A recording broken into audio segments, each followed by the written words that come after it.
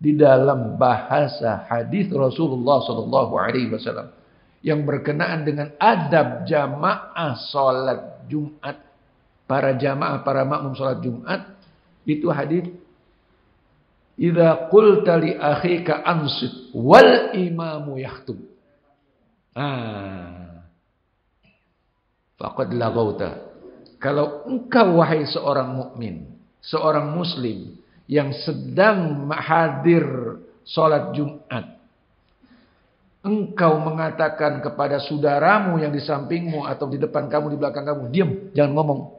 Wal imamu yahtub. Wal imamu yahtub. Sementara imam itu sedang berkhutbah. Imam dibilang katakan yang berkhutbah. Faqad lagauta. Berarti sia-sia. Sholat kamu. Jadi Walaupun itu substansinya amar ma'ruf nahi munkar, tidak boleh dilakukan di saat khotib sedang berkhutbah.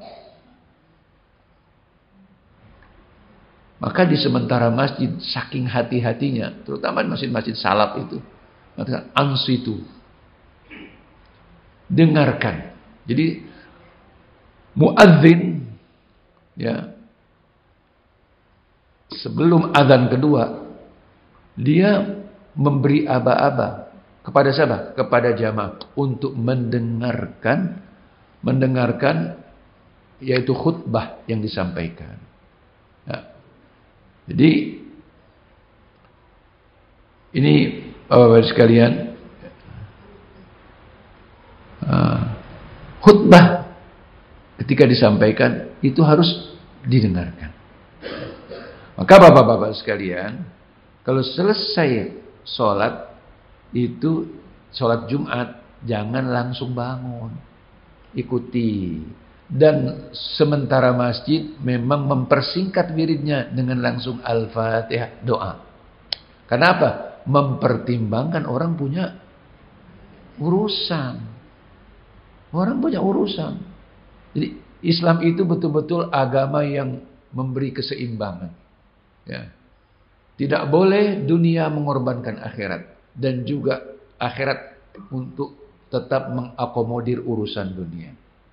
Inilah ya kelebihan dan keistimewaan agama Islam. Ya. Dunia perlu, akhirat juga perlu.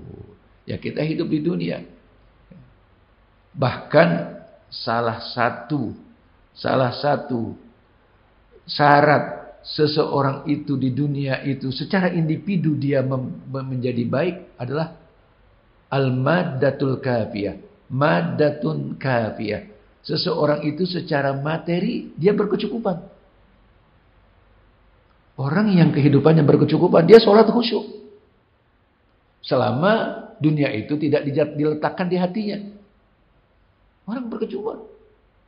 Ya Rasulullah Shallallahu Alaihi Wasallam, Rasulullah Shallallahu Alaihi Wasallam bersabda menyebutkan, salah satu min saadatil mar'i. Al mar'atu salihah, wal baitu salih, wal markabu salih.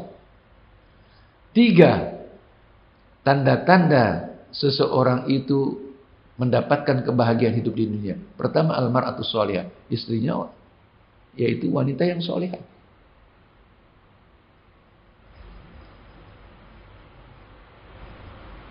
Idza ra'aha sarrathu. Kalau dia memandang, dia senang. Karena kelakuannya, karena adabnya, karena karena akhlaknya. Wa idza amaraha ata'atuhu. Kalau dia perintah, kalau diperintah oleh suaminya, dia taat. Ya. Yang kedua, al-baitus salih. Rumah yang layak. Rumah yang layak, rumah yang baik. Dan bagaimana keadaan rumah tergantung penghuninya. Bagi orang yang sudah berumah tangga, salah satu yang menentukan kenyamanan kehidupan rumah tangga yaitu harmonisnya suami istri. Dan pengikat keharmonisan suami istri adalah iman, tidak yang lain. Iman dulu, iman dulu. Yang ketiga adalah al-markabus salih, kendaraan yang baik. Yang kalau dipakai nggak macet, kalau dipakai nggak mogok. Ya. Itu sini semuanya dunia kan? Semuanya dunia, tapi baik. Untuk apa? Menyampaikan dan menghantarkan kepada akhirat.